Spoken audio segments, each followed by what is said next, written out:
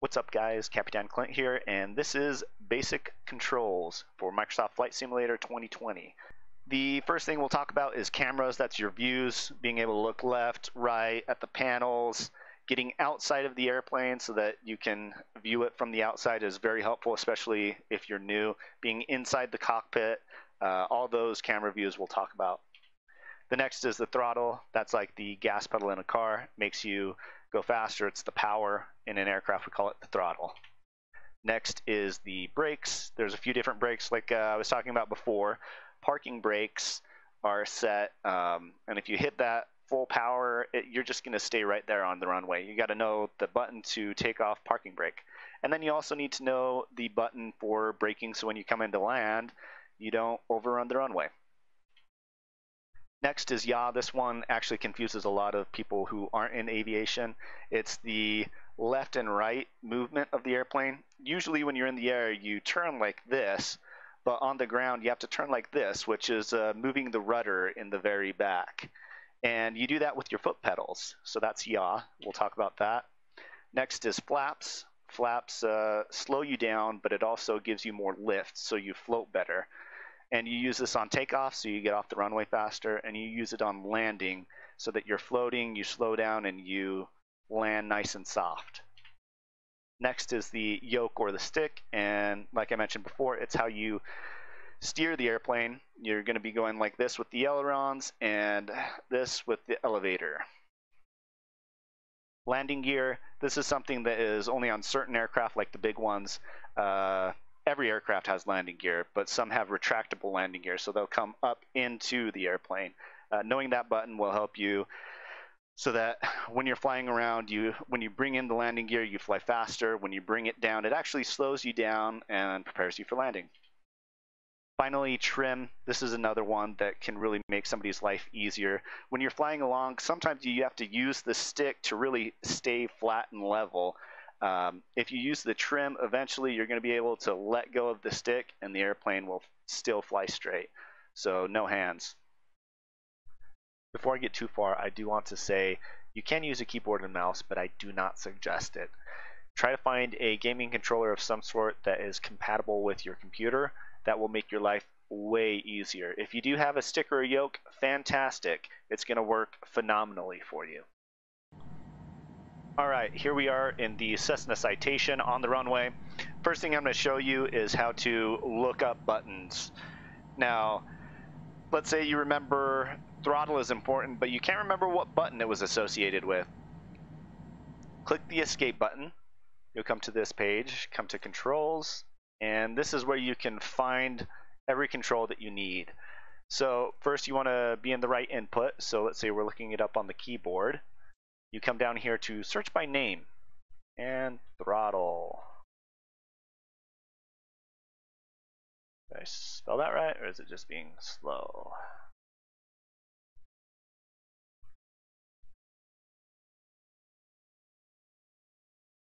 There we go. Okay, so throttle, everything that is assigned to the keyboard that has throttle in it. Auto arm, then we have throttle cut. But what we're going to worry about is decrease and increase throttle. Now you can also have it to all and it will show you a lot of different things. So you can set specific engines like full throttle for engine 4 or throttle to 20%. But that's way too far in the, the weeds. Don't do that.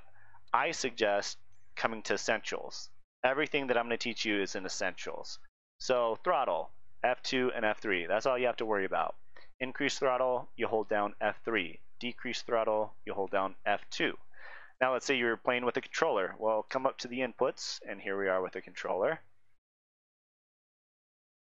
And once again, throttle. I don't know why it's not popping up. There we go. And we are in essentials, so decrease and increase throttle. A is to increase throttle, B is to decrease throttle. That's how you look things up. Uh, there are some other things that you can do in here, but I'm not going to get into it. Look for my video where we deep dive into the controls, how to set new controls and things of that sort. Right now, all I want you to know is how to look up buttons. All right, before I move on, I did want to talk about one other thing. I'm going to be going over the controller and the mouse and keyboard inputs. If you do have something special like a stick, like this Thrustmaster, you can set buttons the same way. You can see everything is labeled. Uh, if you wanted to set something, for instance, like throttle, you could click here and search by input. And I'm just going to click a button that I want to be associated. It's going to be the button 11 and it's currently on something else but I'm going to validate it anyways as you can see here joystick button 11 is now the throttle and that's how you go about setting it if you have uh, something other than the controller or the mouse. Uh, you can also still search by the input as well if you don't know what it's assigned to. Uh, make sure that you don't have two things that are assigned to the same. So I do have this, if I set this as the throttle, then I came over here and set this as the throttle, then it's going to get really confusing because I tap any one of those, just barely touch it, and it's going to change. So you only want one thing associated with each control. So one throttle only. So now we're going to talk about views. Uh, first, we're going to start with keyboard and mouse. So to look around, you use the mouse, you right click and move right, left, down. You can literally look anywhere you want, but you have to hold down that uh, right click button.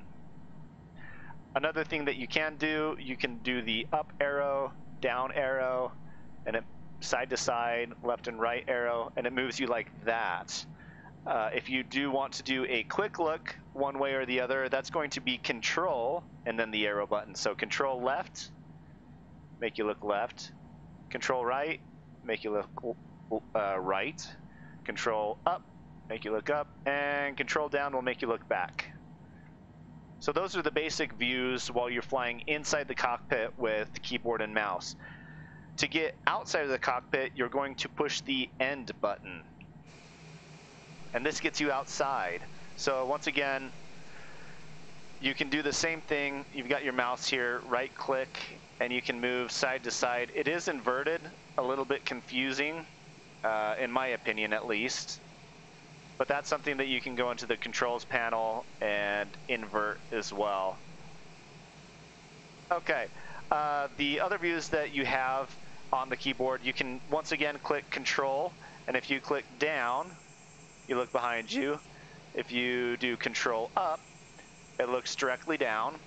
If you can do control left, looking right. That's interesting. Control right, and you'll look left. So it is inverted. You can uh, go into the control panel and invert it so that it feels a little bit more natural for you. But those are the basic views that you have with keyboard and mouse. Now let's go ahead and talk about it with the controller. For the controller, their views are all controlled with the D-pad. So when we're outside, if we push up, looks down, push down, looks behind you, push left, looks left, push right, it looks right. Very, very easy. And then it's going to be, I believe it's the menu button. It's the button with the two boxes. Click that one and it will bring you back inside the cockpit. Now, I love the controller when it comes to views. Uh, it makes it very, very easy you can click the up and it gets closer and eventually it ends on this very close. Then you can click down and it goes back and it kind of looks at the instrument panel a bit and then it goes all the way to the instrument panel. Now when you're up here, left and right we'll look outside. Depending on where you're at, it'll be slightly different. But if you're down here, all the way to the instrument panel, it's going to go through every single instrument that you might need to use. So I'm going to hit the right button and it's going to show us all these up here. Hit right again, show us this, right again, right again. As you can see, it's just taking us through all the controls that we might need. And eventually you get back to the same one. Now let's say you're kind of moving through and then you have to look up real quick. Hit the up button and it'll bring you back hit the down button, and you're going to have to go all the way back through and find it. So the D-pad makes it very, very easy. And then the menu button or the two squares, I don't know what that is necessarily called, gets you external and internal. And those are the views. The next thing that we're going to talk about is the throttle, and the throttle is what makes the airplane go faster or slower. It's the more or less the gas pedal for the aircraft. So here I have the keyboard section pulled up, and I've typed in throttle or began to essentials, and we see that decreased throttle is F2, increased throttle is F3. For the controller, you can click over here, and we will go back to throttle and decreasing throttle is B, increasing throttle is A. So let's go ahead and go back out and test this out. The parking brake is on, so this aircraft isn't going to go anywhere. I'm just going to go ahead and look down at the throttle. Here it is right here. And as you can see, there are two. Uh, when you have increase and decrease, it's going to do both at the same time. So I'm going to go ahead and click F3 as you can see, it moved slightly. If I hold it down, it starts moving a lot more. And I hold it down, F2, and it comes back. Now I've got my controller here, and I'm going to click A, it's going forward, B, it's going back. And as you can see, it's not like a uh, gas pedal in a car.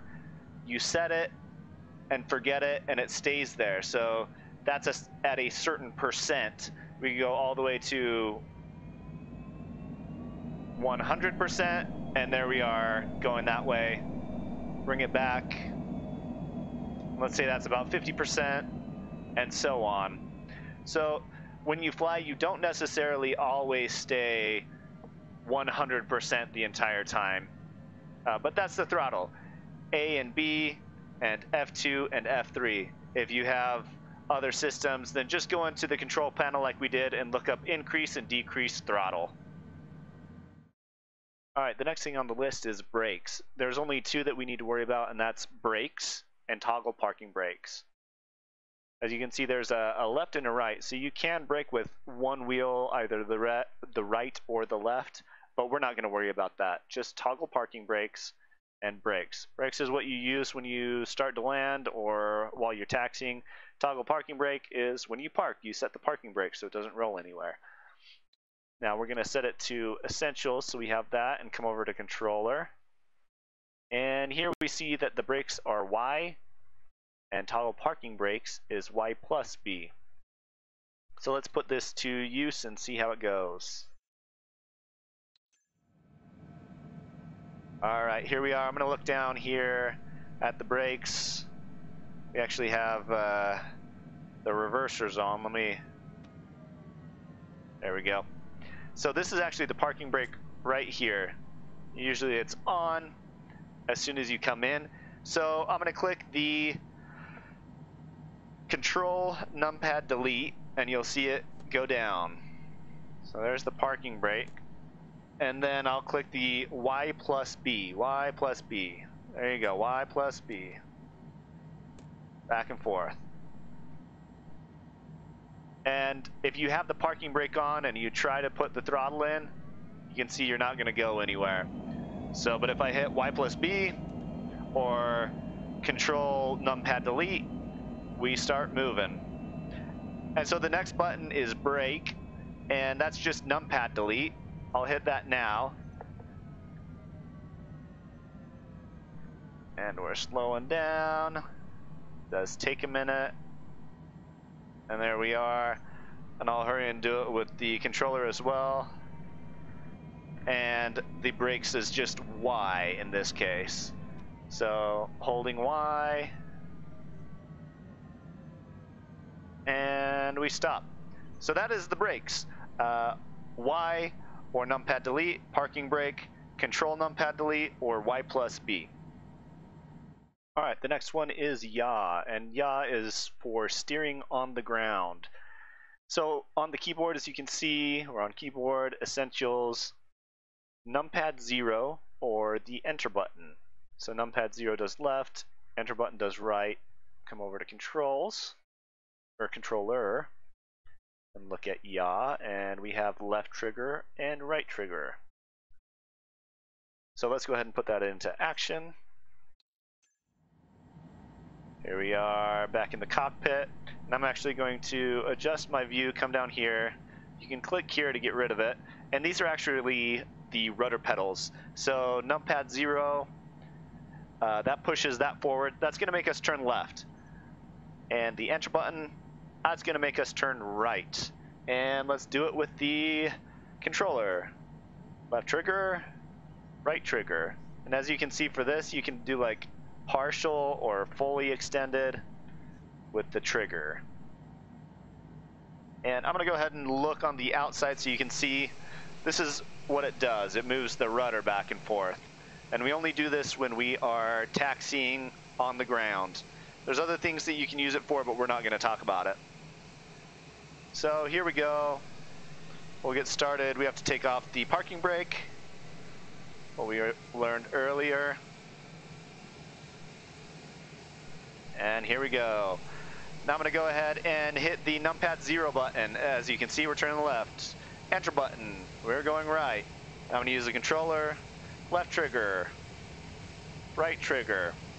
And you actually don't want to go too fast. Taxiing you should do very slow, unless you're going to take off. Then you do full power and try to stay on the center line.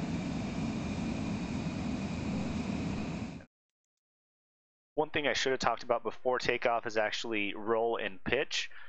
Roll makes you go left and right, as you can see here, and you need to type in aileron right or aileron left in the keyboard section to do that.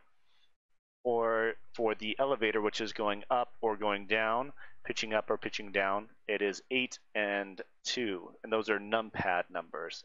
Num 8, num 2, left is num 4, right is num 6. And for the controller, it's actually much, much easier. I'm going to go to Essentials, Flight Controls and Surfaces, Primary, and here we are on the aileron. And as you can see, it's set for the left, so it's actually the left stick, just moving it left and right. We'll do that, and then for the elevator, moving it uh, forward and back will push you up and push you down.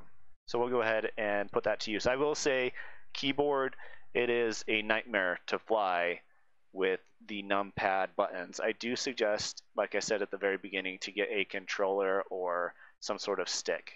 Let's go ahead and do it. All right, here we are. I'm going to use numpad 4. As you can see, we're starting to turn, numpad 6. And you just want to tap it very, very lightly. As you can see, I am kind of already getting out of control with the numpad numbers. Okay, and now I'm going to show you with the stick it is much easier to control. Going left, going right, up, down. Very easy to control. I can even do a barrel roll. With a uh, keyboard, there's no way that I'd be able to pull that off. And the final thing we need to worry about on the ground is decrease and increase flaps. As you can see here, F6 is decrease, F7 is increase. On the controller, left bumper is decrease, right bumper is increase. Let's go ahead and put that to the test.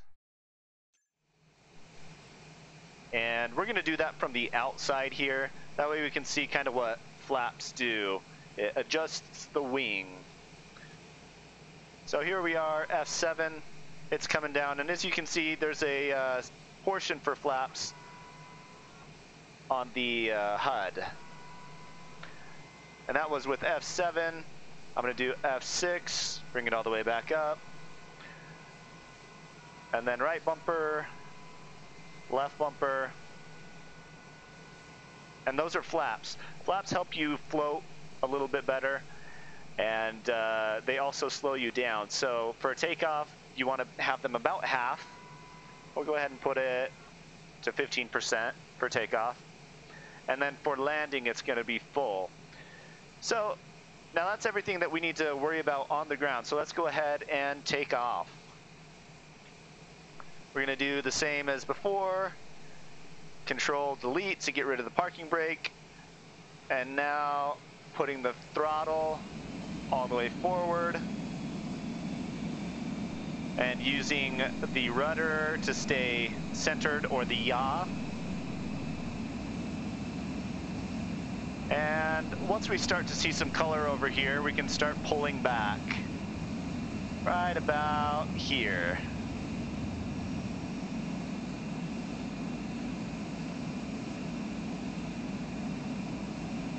Oh. Hold on, boys and girls.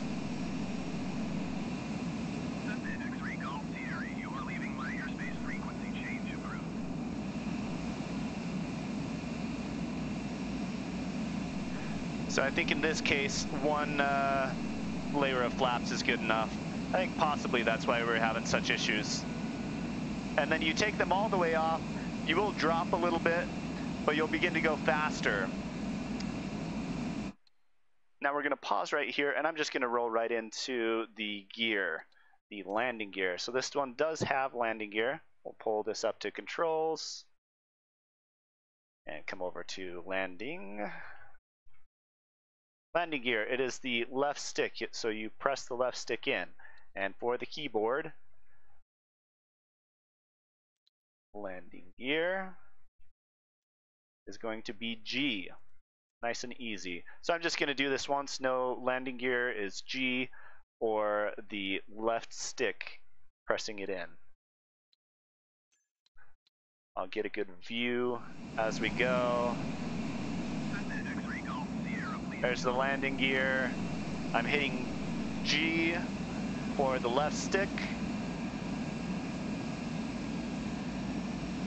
And landing gear is up.